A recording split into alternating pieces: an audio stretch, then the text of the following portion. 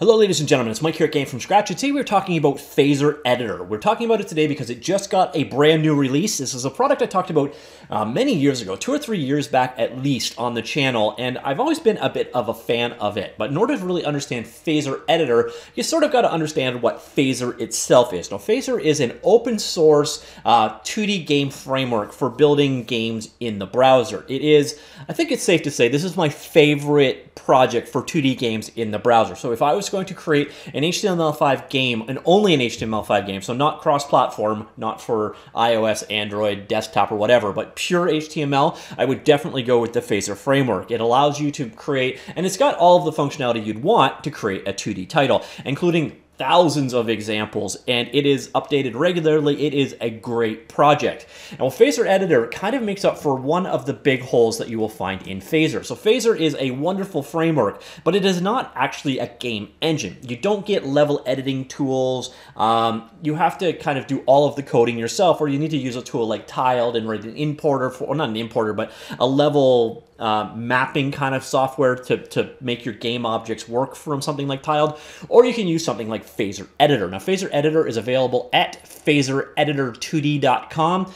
It is a friendly IDE for HTML5 game creation. As you can tell by the name, it is obviously built on top of the Phaser game engine. And that is one of the major releases, major features of this new release. So it's actually built on Phaser 2 or 3. Uh, the previous version I covered was back in the two days. And if you're looking for features that we've got available, they are things like asset management. There's a visual level editing tool. There's JavaScript assisting, so you can do your code with full code completion. It's built on top of the Eclipse IDE. Uh, there's a texture packer built directly in, so you can bring all your pack, uh, all your textures into a Atlas generation kind of system for more efficient memory and loading. Uh, we got documentation tools built in, a number of tutorials to get you going, and so on. So yeah, that is basically Phaser in a nutshell. I'll get back to what's new in Phaser itself, but first let's actually show you Phaser. So you have uh, two demo projects available as well as all of the different Phaser projects that you can import into it. Uh, one of the demos I've loaded up here, you can see it's split into scenes. The first one is a really simple scene. It's for doing like a UI overlay. You can see here we got a number of different blocks that go together, create up our game. We have uh, outline or display lists going on over here of the things in our scene. But now let's open up the more complicated scene. So this is our level scene right here. And you see this is the kind of stuff that you do in Phaser Editor. You can start bringing in the components that make up your level, the various different bits and bobs and pieces and such. They're all selectable down here. You can go ahead and pick anything here, move it around. So if I want my clouds, I have my clouds. If I want to move my clouds, I can move my clouds. If I want to instantiate things into the scene, I can do so.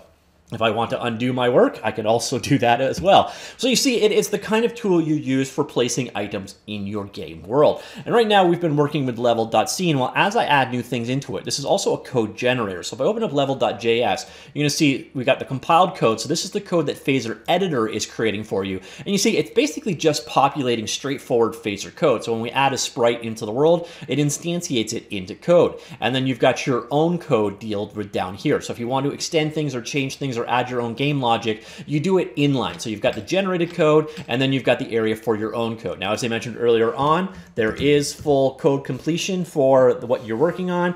Uh, you've also got the ability to directly run your game from within the IDE, like you can see right here. Uh, let's go ahead and exit out of that, though. Uh, how? I don't know. Just a sec. Okay, this is a bit of a catch. It's because I have my browser running in full screen mode, so it automatically opened it up in my active browser, which is available right here. All right, so let's head on back over to where we were. So here you can see, you can also run it directly in here through an experimental version. Uh, there's an embedded version of Chromium available. Uh, but yeah, that's basically the idea behind it. You go through, you've got the items in your scene. When you've got an item selected, such as this dragon over here, you'll notice you can assign a number of different properties to it. Uh, we've got different variables that can be attached. Again, this links into the code. So the variable, we could set the the name of the dragon variable if we wished, so on.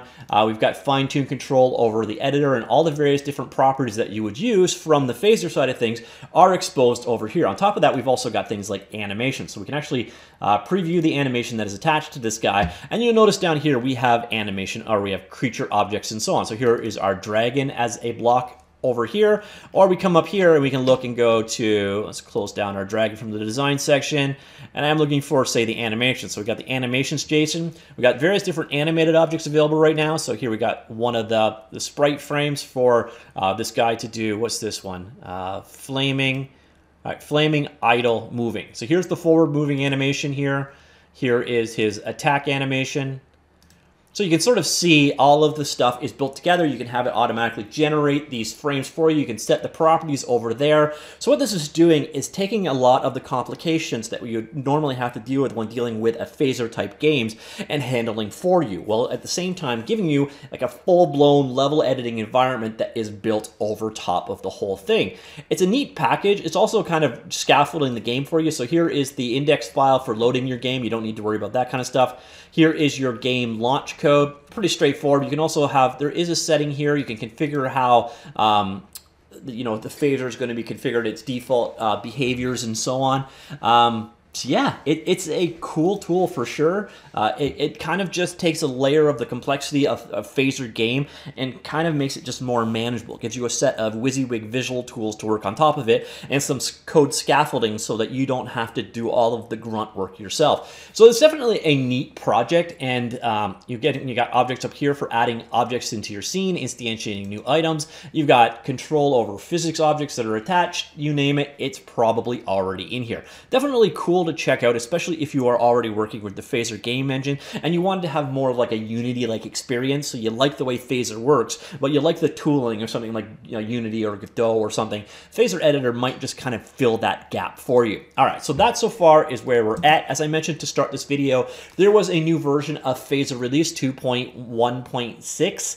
Uh, it was released on the 20th 21st. So this was technically yesterday it was released. The big thing here is to bring it up to parity. So the newest version of Phaser is now built in, um, and that will update with all the various associated tools. They also updated to the newest version of the Eclipse IDE, and some, you know, smaller changes in the way that asset packing works, texture packing improvements, uh, and then some talks about Phaser version 3 going forward. And they've been really good about carrying keys forward. I got a key for this couple years ago, and my license is still completely valid, which is uh, kind of a neat process. So they've also working on a new version of the IDE for the future version. Um, there are some talks about it there, but I'm not actually going to get into those topics for this particular video. So if you're interested in checking out Phaser Editor, uh, it is again available at phasereditor2d.com. Uh, what you saw today was the completely free version. There are some limitations in the completely free version. You see it's available for download for both Windows, Linux, and Mac OS.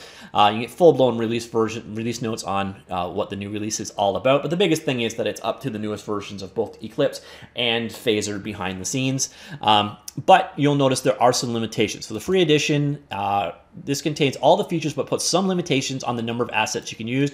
You're limited to uh, 15 canvases, uh, five texture maps, and three tile maps. And if you want to go beyond that, you need to purchase a license key. Uh, as I mentioned uh, earlier on, it's $30. Uh, it's also available on the Phaser store to purchase, so if you want to do that. And also, the source code is available on GitHub. So you can see under, under Phaser Editor 2D, Phaser Editor repository here.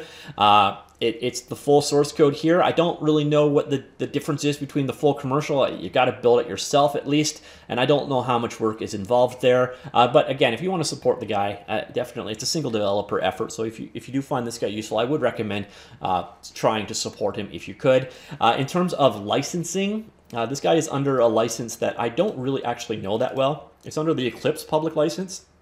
So, a commercially friendly copyleft license provides the ability to commercially license binaries, a modern royalty-free patent license grant, and the ability for linked works to use other licensing, including commercial ones. It's not one that I run into very often, so I can't tell you straight out what the limitations are. You kind of got a bit of a summary here. It looks like the limitations are very minimal, basically li a liability and warranty, uh, with the conditions that you disclose course, license and copyright notice, and keep the same license with derived works. So it's very straightforward and you know reasonable license for sure. So, anyways, that there is uh, the Phaser editor. It's about a 500 megabyte download. Basically, just download and extract the zip. Uh, it again is available for pretty much every major platform. And the cool thing is, if you do pick it up, you will find come in here and do a new project. Uh, sorry, I'm not going to do a new project. I meant to do a new example project. I mean, you can come in here, and do a new phaser example project, and what we are looking at here is the flying dragon example. But they've also got this tile map one. So if you'd rather work with the tile map workflow, they've got a good example of that. And then, as I mentioned, Phaser has